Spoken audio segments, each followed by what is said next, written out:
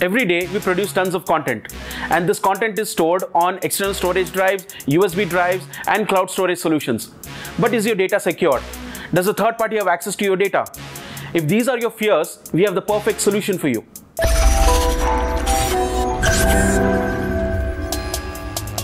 Hey guys, this is Chris from Gadget Voize and today we have a solution for you.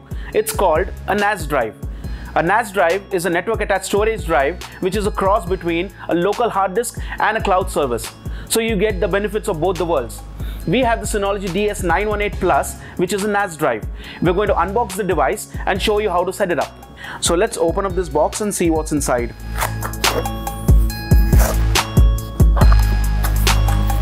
So upon opening the box, uh, you can see over here we have uh, the power adapter cable.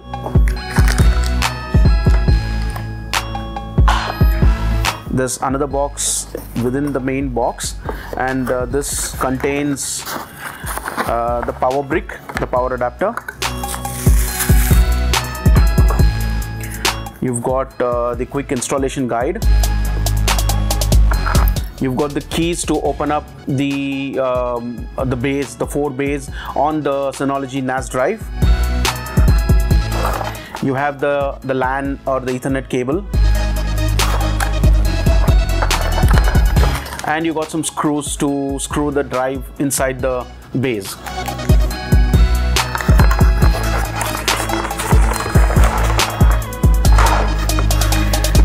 And we're just removing now the main content of the box which is the NAS drive itself so let me get this box out of the way so this is the NAS drive that comes inside the box. It is the DS918 plus and it is a 4 bay drive.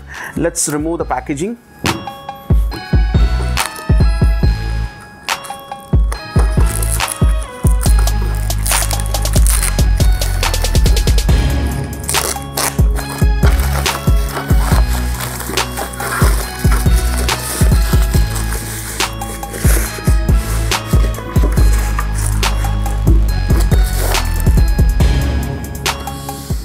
that is the NAS drive that comes inside the box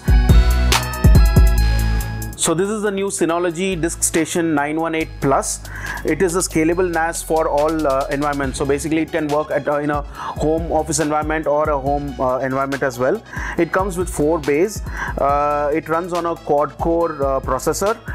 Uh, it supports M2 NVMe SSD for uh, system caching and it also supports 4K transcoding.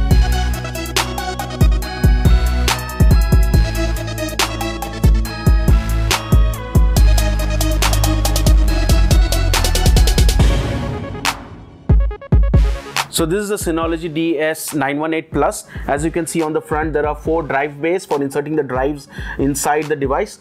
Uh, you have the power button over here, the USB port. There are five LED indicators.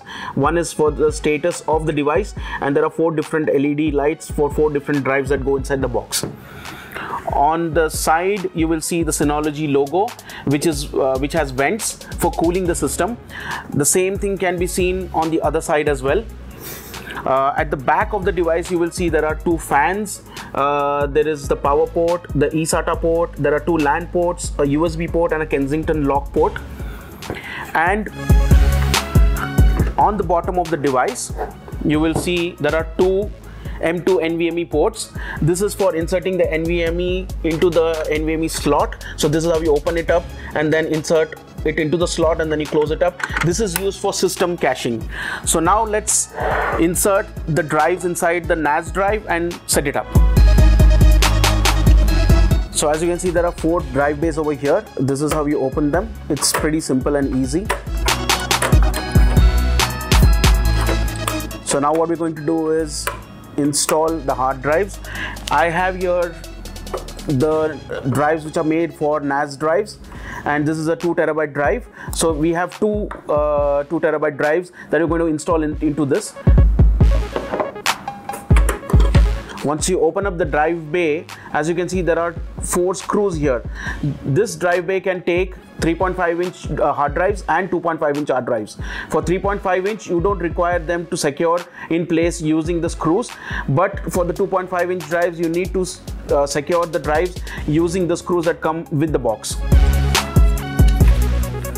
So to install the 3.5 inch, you, what you need to do is remove this piece. There are two pieces on the sides.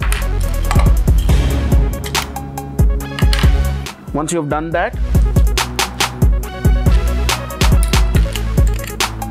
install the drive by sliding it in into the drive bay. So to secure the drive in the drive bay, all you need to do is put this uh, piece back. So once we connect this, all you need to do is slide it into the device.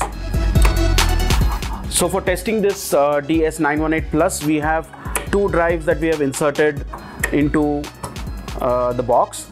So we'll now go ahead and set this up to use the disk manager from Synology.